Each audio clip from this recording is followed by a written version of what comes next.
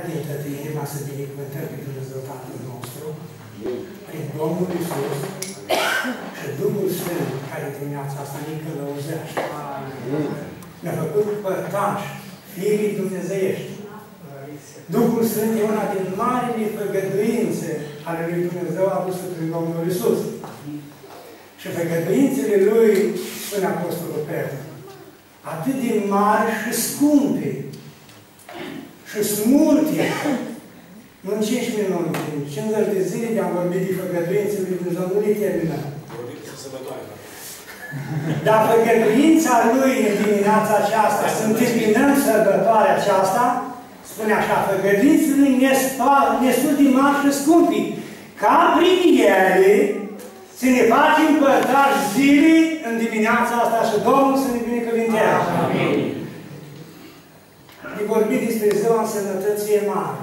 În ziua aceasta, în câteva gânduri, se împlinesc unele din prorocii Vechiului Testament cu privire venirea Domnului Iisus, intrarea Lui în Ierusalim, chiar cum s-a întâmplat, o prorocit-o prorocii. Mi-aduc aminte câteva gânduri de un tip a unui predici și spunea conflictul dintre cele două mari împărății care este pe pământ, Domnul Iisus a venit să ne aducă vestea bună a adevărului, vestea bună a mântuirii, vestea bună a cunoștința adevărului. Că până la Domnul Iisus a cunoscut doar numai rău, din pomul cunoștinței, binelui și a rău.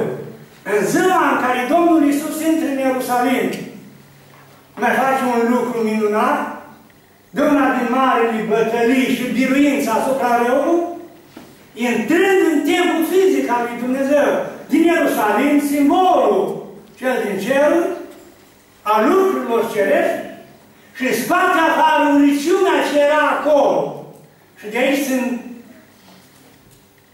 vine alt conflict în acea zi, diavolul plând de mânie, se duce în cer să facă război.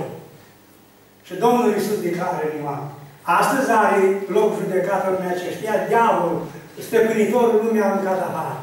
Deci o zi a împlinirii marilor prorocii, a marilor lucrări și cea mai mare izbăvire pe care aduce Domnul Iisus, ne aduce vestea bună, să cunoaștem rodul, polul vieții.